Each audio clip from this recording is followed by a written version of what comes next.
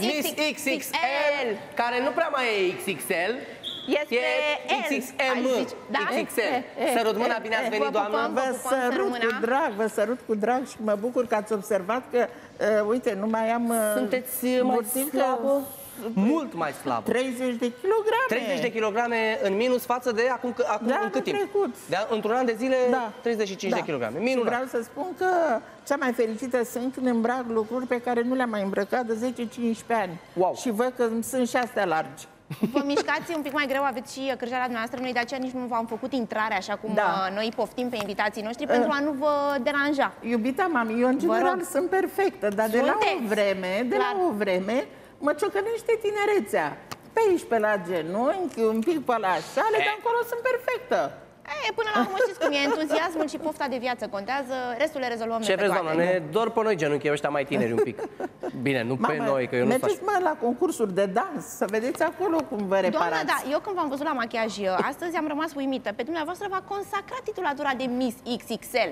Ce vă veni să slăbiți atât de tare? Totuși, Păi- problemele de sănătate cred că spuneau cuvântul. Uh, și problemele de sănătate, am probleme de- de respirație și m, uh, la cel mai mic efort încep să mă sufoc, trebuie să mă opresc, să respir. Deci, uh, problemele pulmonare sau sunt probleme cu Uh, Am inima? și probleme pulmonare, uh, re- uh, cum să spun eu, la spirometrie, capacitatea mea de respirație e redusă și de asta, uh, în clipa când fac o, o leacă de efort, mai ales când dansez, atunci Doamnă, în perioada asta ați fost, uh, ați fost în prima grupă de risc, din ce spuneți Da. dumneavoastră uh, în cazul unei îmbolnăviri, nu? Da, da, dar m-am ferit, am stat V-ați cu ferit. minte, am citit, am făcut teacul de reviste de integrame, sunt mare amatoare de, de integrame și mm, ascult muzică, uh, îmi vine să dansez singură în casă, mai ales când îl ascult pe Fuego.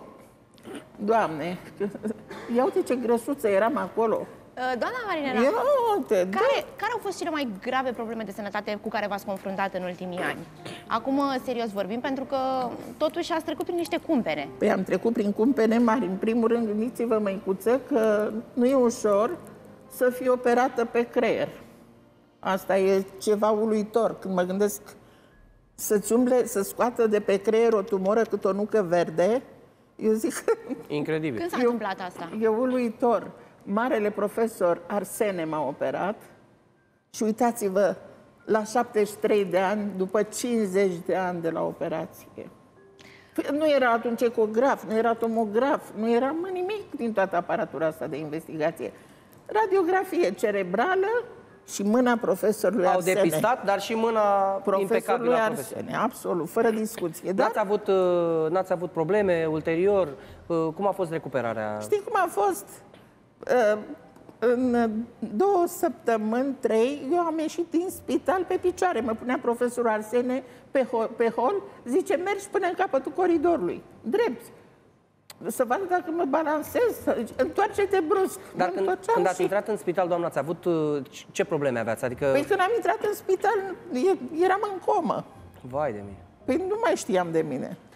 Doamnă, sigur, v-ați temut pentru viața dumneavoastră. Și a fost la un voi pas de a dați vă pierde seama viața ce, dumneavoastră. ce, ce, când mi-am revenit după operație, măi copii, și am realizat că sunt operată pe creier, stăteam la reanimare și uh, nu venea să cred că mi-a umblat pe creier și atunci am zis, Doamne, mai pot eu să cânt, mai pot eu să vorbesc și am început să cânt, dragii mei. Îmi fac cruce, este sărbătoare mare.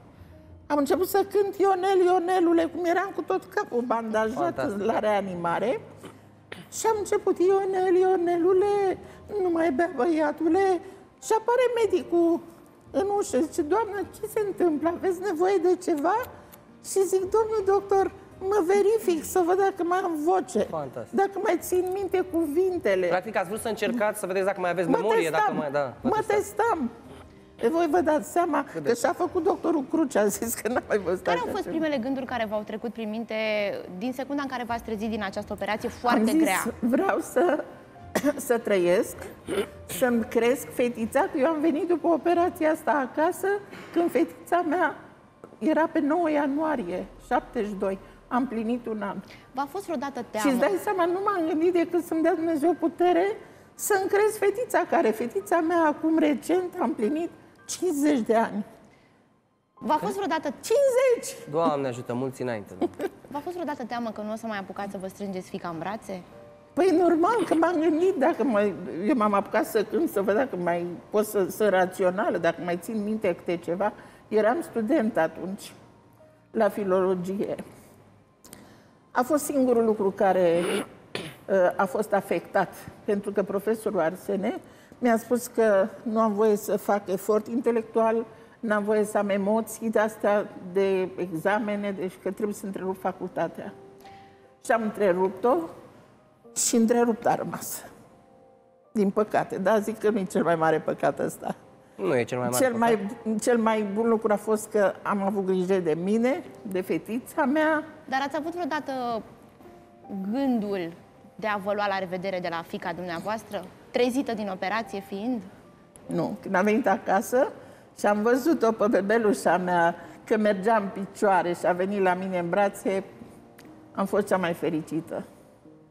Și acum, când am momente când parcă mai iau un pic așa tristețea, păi copii, eu îmi pun muzică. Vă văd și acum foarte emoționată. Îmi pun muzică. Și când aud pe Corina Chiriac, când aud pe Fuego, când aud... Fuego fiind unul din artiștii dumneavoastră preferați, nu? Pe care spuneați că Doamne, îl la iubiți foarte ador, mult. îl ador pe Fuego. Am făcut cu el un videoclip la mare, la Năvodari. Doamne, a fost ceva de vis. Voi vă dați seama, cu Ana Mare, Marilena, anima lumea pe plajă să cânte cu mine și cu Fuego. Minunat. Minunat. E, e, e foarte frumos să-ți întâlnești idolii și cei pe care îi iubești. Și am făcut acolo toată... A, uite, Mai mă, ales să faci un, un videoclip cu, Da. cu persoana aceea. E poți să-ți închipui ce a fost E o minunat. distracție, o, o, o nebunie. Doamne, a fost ceva de vis. Doamna, ne-ați povestit primul episod din viața dumneavoastră în care vă puteați pierde, vă puteați pierde viața foarte ușor, practic. Dacă nu exista o, o mână uh, de maestru al unui medic, a unui medic, uh, care a fost al doilea episod? Pe urmă, nu știu, mai au fost și alte lucruri. Salvatorii mei de bază sunt medicii, medicii militari, mamă, medicii de la spitalul militar. Până am să mor, eu am să spun că trăiesc datorită Datorită acelor acestor. oameni. Este și chirurgi, și endo- endocrinologi, și, uh, uite, pneumologi.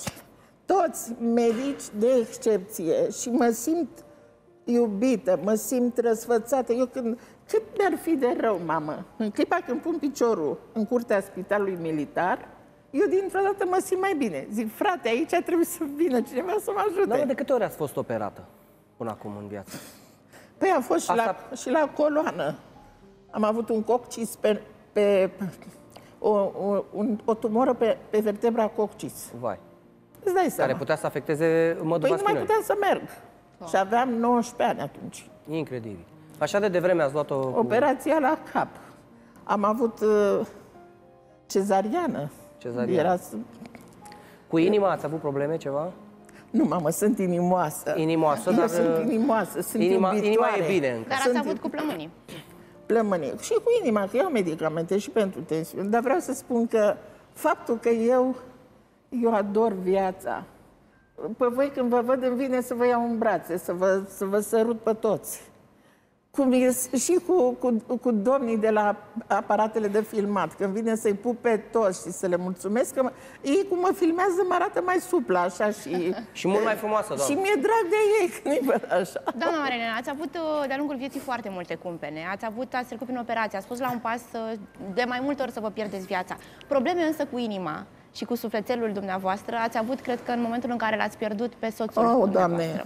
În momentul în care l-ați pierdut pe cel pe care poate l-ați iubit cel mai mult, moment despre care vreau să povestim Păpușa după o mamei. scurtă pauză. Păpușa mami, Doamne, măi copii, cum era colonelul meu, aș dori la toate fetele și femeile din lumea asta să aibă așa bărbat. Minunat om, minunat. Doamna, ne-ați făcut, uh, ne-ați făcut uh, curioși și ne-ați și impresionat un pic. Ne-am uh, reîntors cu o doamnă dragă sufletului nostru, Miss XXL, așa cum o știm cu toții, Marilena Salan. Femeia care are o poveste de viață extraordinară. Ați fentat moartea de două ori, ați trecut prin nenumărate operații, v-ați pierdut soțul. Și spuneați că nu ați avut niciodată probleme cu inima, însă sufletul dumneavoastră cred că a plâns și plânge în continuare de dorul celui pe care l-ați iubit mai mult decât orice pe lume. Foarte, foarte grea singurătatea după ani de căsnicie excepțional. Aș dori la toate fetele din lume așa o căsnicie bazată pe încredere, pe iubire, fără niciun fel de... Doamne, să ai așa cât negru sub unghi o bănuială, că ce face? Toți banii erau pe mâna mea, casa era pe mâna mea, educația copilului pe mâna mea. Cum, cum s-a dus soțul și dumneavoastră? soțul meu pleca în misiuni și venea cu cadouri, cu atenții. Pe câți bărbați fac chestia asta? Uh, cum s-a dus? S-a cum dus s-a săracul repede. Mă știi cum avea o obsesie, că el auzea de alți colegi care au stat în spital luni de zile și a chinuit cu fata, nevasta, și el îmi spunea, Marilena, scumpa mea, eu vreau să, eu vreau să mă duc repede, să nu mă chinui nici eu și nici pe voi. Auziți voi? Și exact așa s-a dus. S-a internat azi la spitalul militar și a doua zi a murit. Dumnezeu i-a, i-a ascultat uh, Mai copii, vă dați dorința seama. până la urmă. Doar început să-i facă investigații medicale, că era de-abia internat. În situația asta e rău pentru cei care rămân, pentru că e pierderea foarte bruscă. Doamne, a fost ceva uluitor. Când m-a sunat doctorul să mă anunțe că el a decedat, zic, domnul doctor, e o confuzie, nu se poate.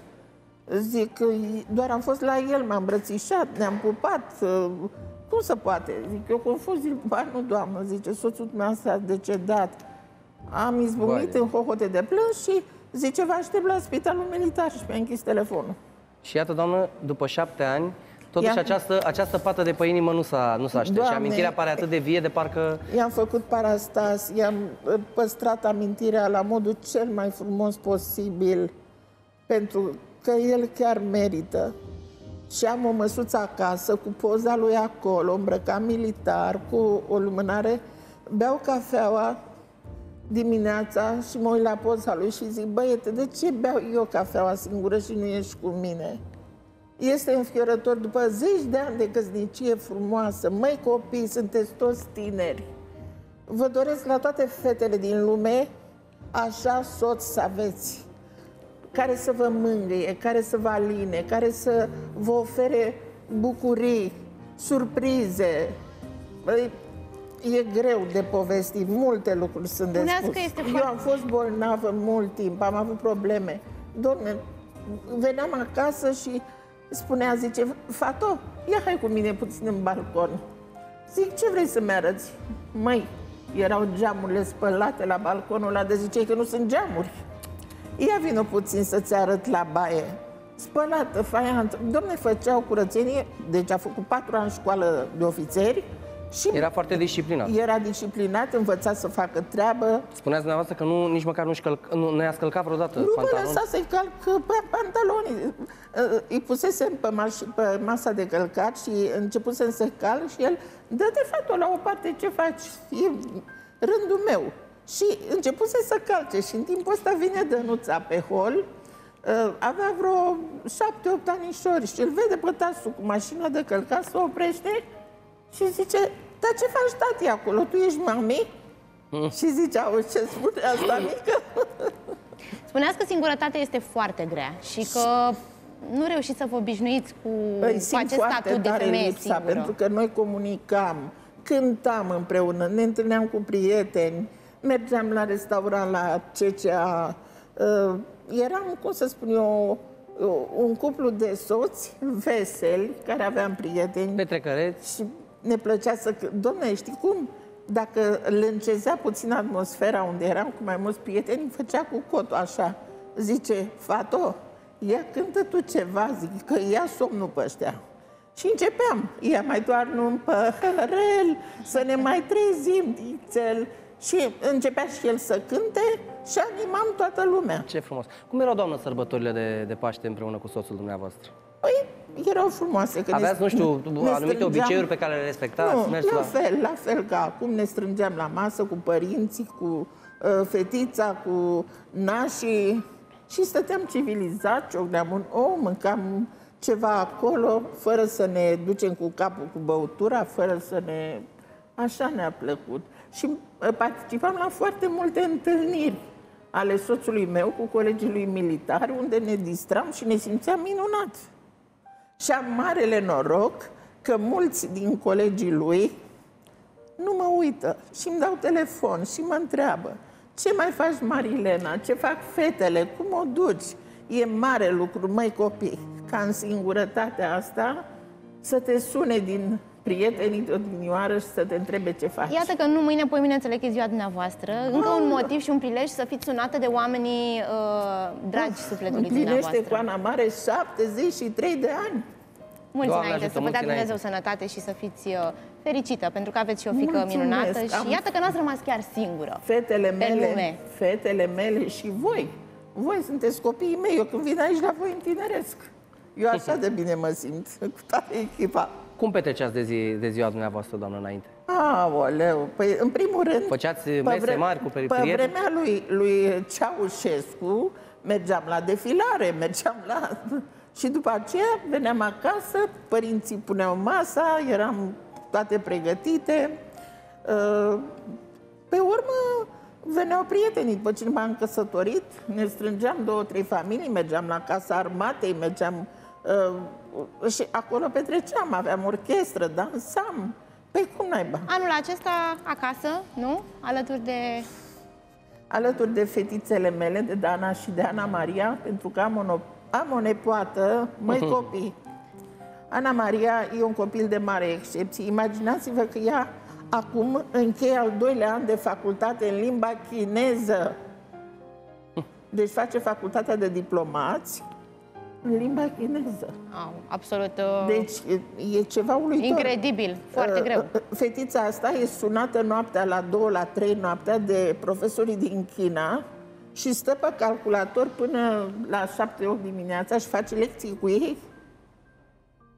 Ce frumos. Fantastic. E ceva uluitor, dar a făcut o pasiune pentru, pentru această limbă și vrea să fie cea mai bună.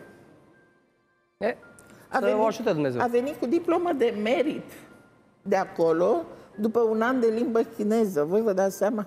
Oricum, China acum e la putere, așa că a, a, a intuit bine. Vreau să spun că de-abia așteaptă să se potolească cu nebunia asta cu viroza, să se întoarcă în China să studieze în continuare. Cea mai puternică economie Da. de pe planetă. Da, dar până atunci vă mai bucurați de timpul petrecut Ah, alături uh, bineînțeles, de ea, pentru că vă bineînțeles. plângeați de singurătate, și așa că vezi e... ce scumpă e, este frumoasă, e înaltă, 1,80 m are înălțime.